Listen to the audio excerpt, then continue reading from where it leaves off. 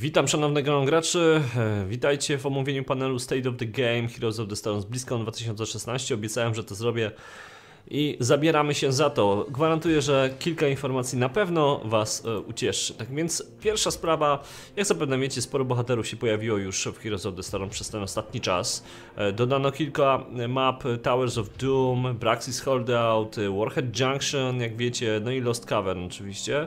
W systemie wielkie zmiany w matchmakingu, więcej bohaterów w rotacji, draft się pojawił, jeżeli chodzi o ranked, no i dodano również draft w systemie nierankingowych, czyli quick e, meczach. Zmieniono w ogóle sezony, właściwie dodano sezony i nagrody, e, dodano questy do talentów, które całkiem fajnie wyszły, szczerze mówiąc. No i system oczywiście MVP. Zbalansowano bardzo dużo bohaterów, 19 dokładniej. Totalny rework otrzymało. Następnie e, co każdy tydzień pojawiały się, pojawiały się informacje, co 2-4 tygodnie pojawiają się bohaterowie. Tak więc całkiem nieźle przyspieszono ten proces z 2015, gdzie on wynosił od 4 do 6 tygodni. No i później, jeżeli chodzi o esport, powiem Wam, że to się bardzo mocno rozwija. Już jest e, konkretny plan na trzy gigantyczne turnieje w 2017 roku, e, system tworzenia właściwie wejścia do tych turniejów normalnych graczy. E, No i jak tutaj widzicie na liście, całkiem sporo się działo. E, Kolejna sprawa to jest system, w jaki sposób my gramy tak naprawdę przed update'em, a jak wygląda sytuacja tuż po update'cie. Można zauważyć, że rankingowe gry i quick mecze mocno, mocno wzrastają, a więc zainteresowanie grą również tuż po update'ach. E, Następna rzecz, w końcu się przyznano, że system, e, który, gdzie zdobywaliśmy pierwszą rangę, był totalnie zepsuty. Pokazano to na e, tej infografice, innymi słowy, od 50 do 40 levelu praktycznie nikogo nie było. Z tego względu, że to się głównie dostawało punkty, no a e, rangę pierwszą można było naprawdę łatwo zdobyć. E, W późniejszym etapie, w sezonie pierwszym, wprowadzono już konkretne zmiany, gdzie widzimy, że Master i, Grandmaster to jest 1% populacji obecnej, Diament 14% i Platyna 16%, no i później reszta świata, ale jest to w miarę sensownie ułożone. W sezonie drugim będą lekkie, ale naprawdę lekkie zmiany, ale sezon trzeci, no to będzie coś ciekawego, ale do tego za chwilę przejdziemy. Słuchajcie, kolejna sprawa, to jest e, zmieniona wielkość e, drużyn. Be możemy oczywiście do Hero League wchodzić solo albo duo. e, Całkiem ok, tylko to też jest w pewnym sensie zaburzone, bo ostatnio widziałem drużynę złożoną z Diamentu 1 i z Platyny 5, która biła się z Platyniakami, więc jednak coś jeszcze jest, jest nie tak. Wiadomo, jak patrzymy na, na rangę Hero League, czyli Ligę Bohaterów, to gracze solo mają troszkę trudniejsze zadanie do wykonania. Jeżeli chodzi o teamową ligę, no to możemy mm, wejść tutaj jako piątka, tylko i wyłącznie, jakakolwiek piątka. Bo wcześniej było zrobione tak, że trzeba było zrobić drużynę. Teraz już tego nie ma, ale trzyosobowe drużyny i czteroosobowe nie mogą właściwie walczyć w systemie rankingowym. No i przez to stworzyło się coś takiego jak niska populacja dla przyszłości. To jest ważna informacja. E, Liga e, Bohaterów. Będziemy tam wchodzić tylko solo i to będzie taka prawdziwa liga bohaterów. Będziesz tam bohaterem. To będzie twoja unikalna ranga i to jest dobre e, w mojej ocenie. A jeżeli chodzi o teamowe ligi, no to w tym przypadku dwójki, trójki, czwórki, piątki będą mogły wejść. Chociaż tu piszę o dwójkach, trójkach i piątkach, więc może tego się trzymajmy. No i jeżeli chodzi o potencjalne zyski, to wiadomo. Bohatera, Liga Bohaterów, no to odzwierciedla twój, twój osobisty skill i to jest, to jest w porządku. Następnie ti- ligowe teamy będzie tam oczywiście więcej ludzi grało i będziemy mogli lepiej koordynować e, drużynę. No i w końcu trójki będą mogły, słuchajcie, grać w rankingu, więc to jest całkiem fajna sprawa, bo liga drużynowa w końcu tutaj e, będzie troszkę większa niż była e, przedtem.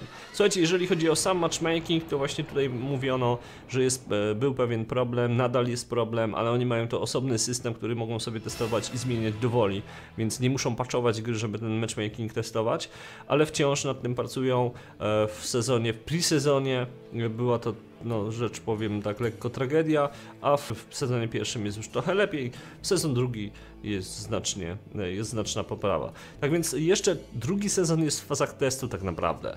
Trzeci w- będziemy testować Ligę Bohaterów solo, Tak więc te zmiany, e, myślę, że jakieś zmiany jeszcze do tego przyjdą. Słuchajcie, tutaj jest taki wykres, bo tak naprawdę matchmaking był zmontowany w taki sposób, że nie brano pod uwagę doświadczenia bohatera, doświadczenia twojego bohatera. Innymi słowy, brano pod uwagę tylko i wyłącznie twój e, poziom rankingowy, twój, twoją rangę, ale nie brano pod uwagę tego, że możesz mieć na przykład 20 level e, na danym bohaterze, albo piąty level na danym bohaterze. Tak więc jak widzicie na tej infografice, ta jasna linia zbliżona do 50% e, zwycięstw, to jest właśnie wykres dużej ilości rozgrywek, gdzie właśnie wzięto pod uwagę doświadczenie Twojego bohatera i mniej więcej on ma troszkę lepszy sens niż ten bez. E, tak więc przechodzimy dalej. Dodano oczywiście um, różnicę e, poziomu, różnicę rangi, jeżeli chodzi o matchmaking. Więc to w sumie była bardzo dobra decyzja, że e, możemy się bić tylko i wyłącznie w obszarze dwóch dywizji, więc to jest, to jest e, sensowne. Następnie te zmiany spowodowały, że szybciej wyszukiwano mecze o 50%, a w teamowej, raczej w Hero League, czyli Lidze Bohaterów o 200% więc to jest całkiem fajna sprawa. No i e, słuchajcie, nowość zostanie wprowadzona, będziecie otrzymywali powiadomienia o Twoich personalnych statystykach. Innymi słowy, jak pobijesz swój rekord, to będziesz otrzymał informacje na ten temat, że inni sobie poradzili na przykład gorzej od Ciebie, albo Ty byłeś e, lewy i za bardzo sobie nie radzisz, ponieważ średnia jest taka i taka. Słuchajcie, to jest takie pozytywne, ponieważ mniej więcej pokazuje, czy jesteś naprawdę dobry, czy sobie po prostu nie radzić jeszcze, prawda? Będzie tych statystyk około 25. E, więc raz na czas będziemy otrzymywali takie dane tuż e, po meczu. Tak więc całkiem spoko e, to jest. No i teraz wielki, wielkie brawa. Wraca, wraca mapa nawiedzone kopalnie. Wszyscy tęskniliśmy za tym, prawda? Tak więc całkiem, całkiem fajnie. No i najważniejsza sprawa to jest to, że mm, system spawnu golema się zmienił. Teraz będzie szedł zawsze od początku kora. To jest pierwsza informacja. Jeżeli chodzi o kampy, też zostały zmienione i jeżeli chodzi o podziemne kopalnie, również. Zobaczmy, jak to wygląda. Słuchajcie, są cztery wejścia teraz, przynajmniej będą. Cztery wejścia, co jest całkiem ok, naprawdę. Następnie w środku e, kopalni mapa będzie wyglądała tak, a na samym środku będzie golem. Więc e, dość interesująca koncepcja z czterema wejściami. Będziemy się tam naprawdę nieźle gonić, chociaż to tak naprawdę będzie prowadziło do e, środka w sumie. I kiedy ta mapa się pojawi? Ma pojawić się w grudniu. Pod koniec roku powiedzieli, więc grudzień. Jeżeli chodzi o progresję, to jest mega informacja jak dla mnie. Na razie jest tak, że mamy 20 level bohatera. Levelujemy je dość wolno E, czyli żeby dojść do 20 no to trochę trwa. Jeżeli chodzi o nagrody, otrzymujemy je no, nie, za, nie za często. Tak więc zmiany będą następujące. Teraz e, level bohatera właściwie go nie będzie. Słuchajcie, będziemy mogli levelować bohatera ile wlezie. Level naszego konta to będzie ilość wylevelowanych e, poziomów bohatera. Innymi słowy, masz tam kilku bohaterów na 20 levelu, to wszystko się sumuje czy tam w 15, 10 i tak dalej, wszystko się sumuje i to jest twój poziom. Czyli innymi słowy, jak zobaczysz gościa, który ma tam 300 któryś tam poziom, no, na przykład, to znaczy, że naprawdę dużo grał w tą grę. I to jest świetne, świetna sprawa.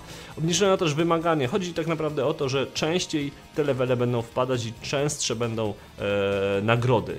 Więc ogólnie rzecz ujmując, są, bo zdecydowanie są ludzie, którzy poświęcają tej grze masę, masę czasu, a podczas podczas e, wchodzenia do rankedu widzisz tam tylko i wyłącznie jego rangę, ale nie widzisz tak naprawdę jego doświadczenia. I to jest istotne, żeby zobaczyć też, na jakie on ma doświadczenie e, w tej grze. Więc świetne zmiany, w szczególności, że w przyszłości dodadzą słapy w draftach. Innymi słowy, będziemy zamieniali miejscami bohaterów, jeżeli ktoś się zgodzi. Pamiętacie, jak z League of Legends się zmieniało. E, Battlegroundy będą, e, będą w rotacji, jest ich teraz więcej i zdecydowanie w przeciągu jednego miesiąca ma dojść do trzech rotacji w Battlegroundach. To akurat mi się aż tak bardzo nie podoba. Ja wolałbym całą tą pulę mieć cały czas. Później, e, jak zapewne wiecie, pojawił się Blizzard Voice Chat, który będzie zintegrowany z grą. Party Finder, innymi słowy, będzie łatwiej wyszukać bohaterów do walki, innymi słowy, kumpli czy, czy jakichś ludzi w ogóle, którzy też grają w Hotsa. Innymi słowy, będziemy wybierali naszą rolę, będziemy wybierali na jakim trybie chcemy grać i będziemy szukali sobie drużyny. Czyli ma być to inteligentne wyszukiwanie drużyny. I następnie klany. Słuchajcie, klany mają się pojawić jeszcze o nich za dużo nie powiedziano, ale one będą i będziemy mogli robić sobie klanowe nawet turnieje, co zapowiedziano, więc moi drodzy, Heroes of the Storm idzie w bardzo dobrą stronę. Ja mam nadzieję, że się rozwinie i myślę, że jednak z tego co widzę, to bardzo ostro goście pracują nad tym, żeby tak było. Tak więc dzięki za uwagę, dajcie znać koniecznie, co myślicie na temat tych zmian.